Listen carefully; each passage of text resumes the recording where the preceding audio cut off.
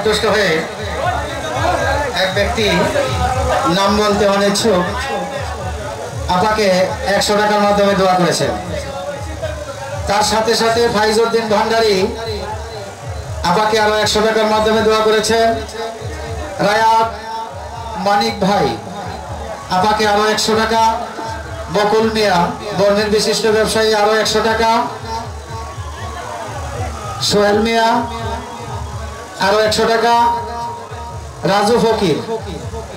মায়ারানী আপাকে আরও একশো টাকার মাধ্যমে দোয়া করেছেন। তার সাথে সাথে আরও সোহাগকে রাজু ফকির আরও একশো টাকার মাধ্যমে দোয়া করেছেন।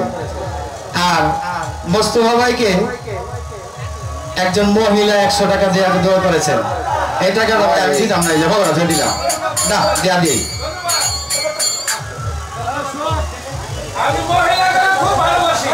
বাতেন